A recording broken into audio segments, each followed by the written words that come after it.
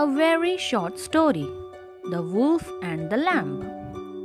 One day, a lamb was eating sweet grass away from her flock of sheep. She didn't notice a wolf walking nearer to her. When she saw the wolf, she started pleading. Please, don't eat me. My stomach is full of grass. You can wait a while to make my meat taste much better. Again, the lamb said, The grass in my stomach will be digested quickly if you let me dance. The wolf agreed. While the lamb was dancing, she had a new idea.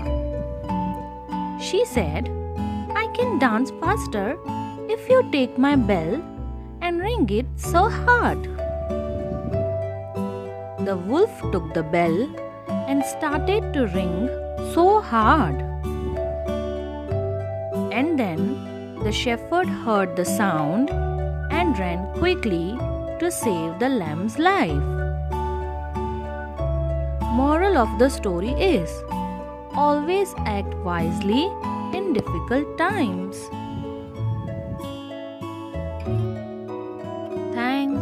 Watching.